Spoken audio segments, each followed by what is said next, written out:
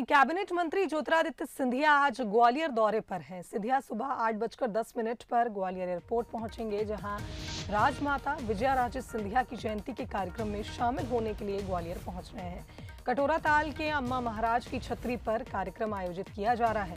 राजमाता विजया राजे सिंधिया की आज 101वीं जयंती है और दोपहर साढ़े बजे दिल्ली के लिए सिंधिया रवाना हो जाएँगे। तो आज सुबह आठ बजकर दस मिनट पर सिंधिया ग्वालियर एयरपोर्ट पहुँचेंगे। आज राजमाता विजया राजे सिंधिया की जयंती है।